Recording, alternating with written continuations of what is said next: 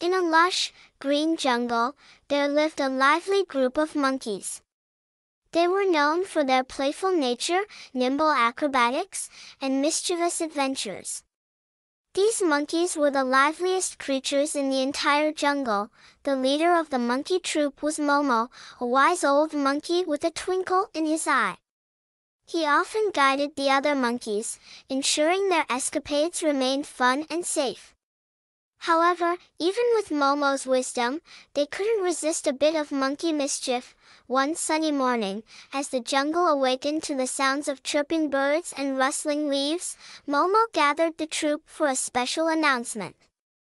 He explained that they would be having a monkey play day filled with games and laughter. The monkeys' tails wagged with excitement, and they eagerly planned the day's activities. They started with a game of vine swinging, leaping from tree to tree like acrobats. The laughter of the monkeys echoed through the jungle. Next, they decided to have a banana eating contest. Each monkey grabbed a ripe banana and tried to eat it as fast as they could.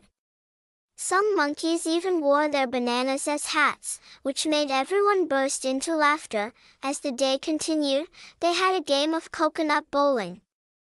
The monkeys rolled coconuts down a makeshift lane, trying to knock down sticks set up as pins. Their clever tactics and monkey flips added extra fun to the game. The highlight of the monkey play day was a game of monkey hide and seek. Momo counted to ten, and the other monkeys scattered into the jungle to find hiding spots. Momo closed his eyes, counted, and then began searching for his fellow monkeys. It was an amusing game as the monkeys found the most creative hiding spots, like disguising themselves as leaves or hanging upside down from branches. Momo's keen eyes eventually spotted each one, and they all laughed together when they were found.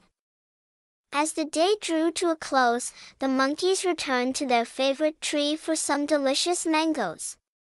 They chattered and shared stories of their playful adventures, thankful for the joy and friendship that Monkey Play Day had brought.